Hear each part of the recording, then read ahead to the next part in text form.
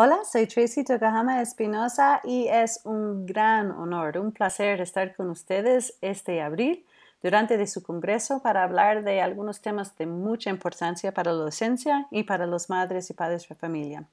Y primero vamos a discutir un poquito sobre los neuromitos. Esos son falsedades, esas son cosas que inventamos sobre el cerebro y aprendizaje que todavía existe adentro de los textos escolares que tenemos y también en la prensa popular.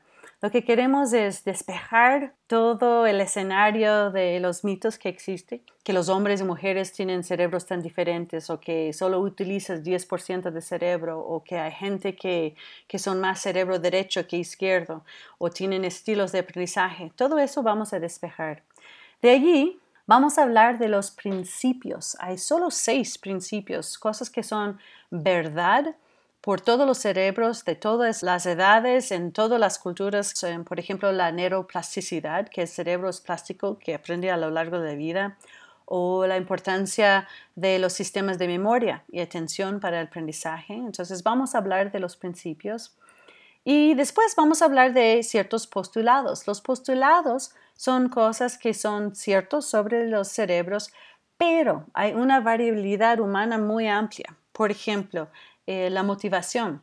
Lo que motiva a ti no necesariamente motiva a mí. Mientras motivación es muy importante para el aprendizaje, no podemos hablar de actividades eh, motivantes para los estudiantes porque depende de la persona, ¿cierto?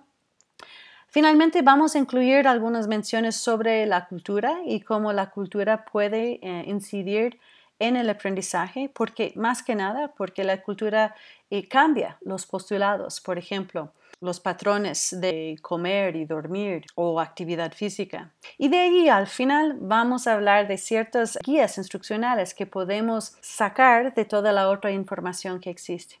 Entonces estoy muy contenta de estar con ustedes en abril. Si tienen cualquier duda o pregunta antes, por favor no duden en escribirme. Nos vemos pronto.